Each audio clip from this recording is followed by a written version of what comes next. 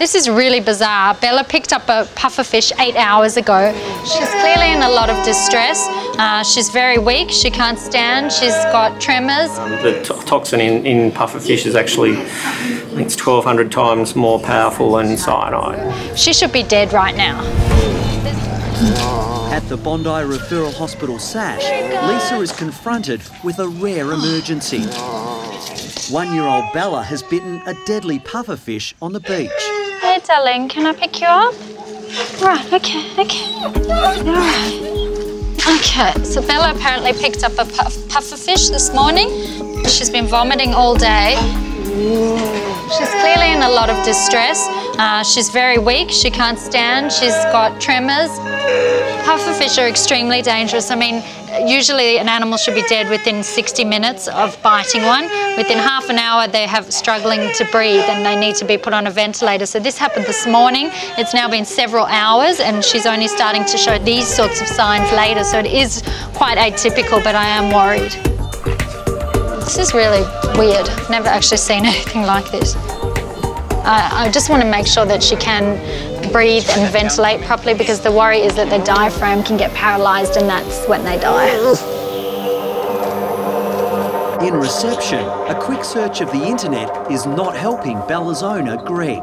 Just did a check and it's um, the to- toxin in, in pufferfish is actually, I think it's 1,200 times more powerful than cyanide. So obviously a little bit goes a long way for a, for a poor little dog that small. Baby girl. Okay, okay.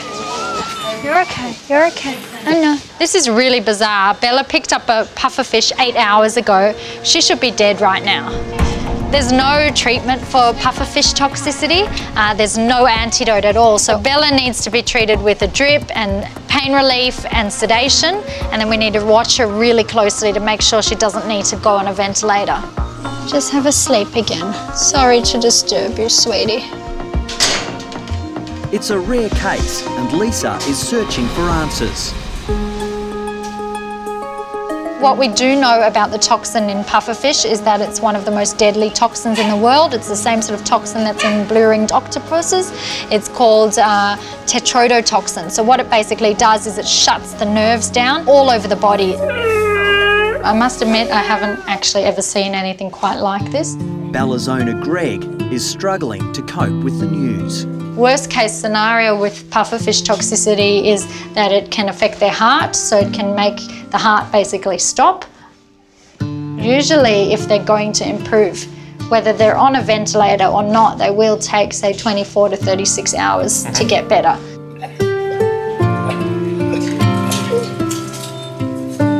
She's still with us, so she's going well. Greg's now calling his wife, Carolyn. Little Bella may be running out of time.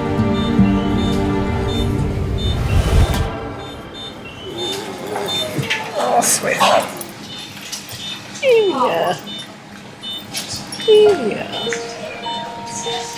Yeah. Here you go. Oh, Greg's wife, Carolyn, has arrived at SASH to comfort the critically ill Bella.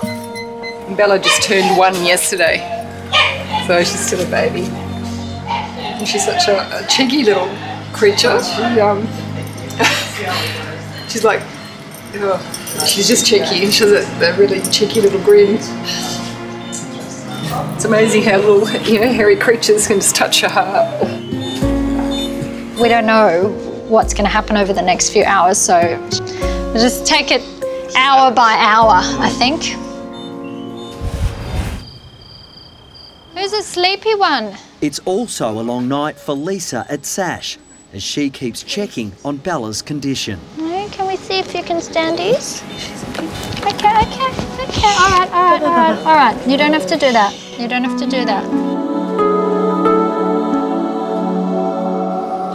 Uh, she's still not good. She still hasn't got control of her legs and her and her head's sort of swaying around and she's groaning. She still doesn't want to be touched. So the toxin is still in her system. But when Lisa puts the shaky Bella on the floor, she's showing plenty of courage. Come here. This is pretty amazing. I mean, Bella's still fragile, but she's standing and she's even walking. Yes, she's wobbly, but she's walking. She's getting there. She's sort of just learning to use her legs again. She's still a bit wobbly? Oh my goodness, now I can pick you up and you don't quiver. Several days after biting a poisonous can I see pufferfish. Bella has made an how you walkies. extraordinary recovery. Look at you! She's got her normal strength and she's bright and happy and running around, wagging her tail, and her mum and dad are going to be very excited to see her. She's doing the wiggly, wiggly, wigglies. Carolyn and Bella's big sister Coco have arrived to take her home. Look at there! Oh, kisses! really, really lucky little dog because following the textbooks, she should have been dead within an hour, not with us. So it's almost a miracle. It's fantastic.